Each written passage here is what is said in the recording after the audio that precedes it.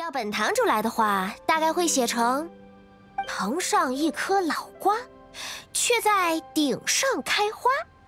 哦，真是好诗，意境独特，朗朗上口。我果然没看错，这位温迪小哥好有眼光。握手，握手，握手，握手。嗯，嗯。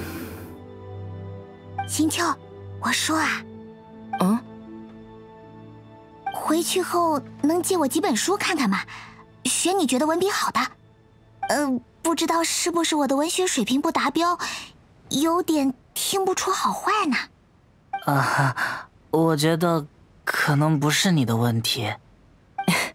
重云说的对，不是我们的问题。有道理啊。话说回来，卖唱的为什么会在这里？也是来参加海灯节的吗？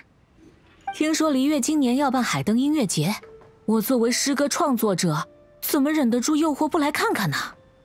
艺术就是要相互碰撞，才能产生灵感的火花嘛。说起来，主办活动的那位枫丹朋友。我在石门附近见过他，红色巡回终于举办成功了一次，可得好好祝贺他呀。我们之间可不能这么客气啊。说起来，我之前见你们陆续进入星月轩，却没有一个人发现我在边上呢。该说是我藏得太好呢，还是有些人无视了风声呢？呵呵，每到海灯节，璃月港都人声鼎沸。大家忙着赏灯逛街，情致到了，难免即兴出游。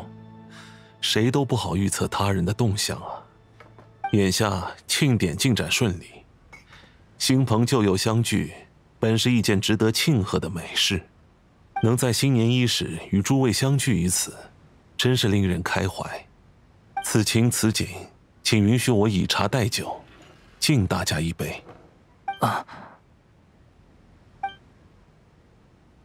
钟离先生说的好啊，替我把想说的话都讲完了。说到这个，就有些不好意思了。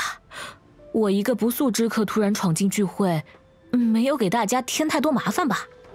在蒙德，这种时候我们都是喝酒的，但钟离先生坚持喝茶，那我也用茶水敬大家一杯，多谢款待喽。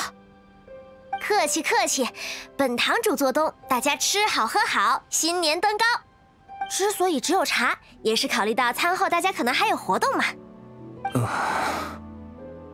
呃，他们两位突然开始敬茶，我们我们要不要？何事慌张？可以。二位已经吃好了吗？出去透透气、消消食也不错。哎哎，那我也。呃，其实，好吧，一定要回来哦。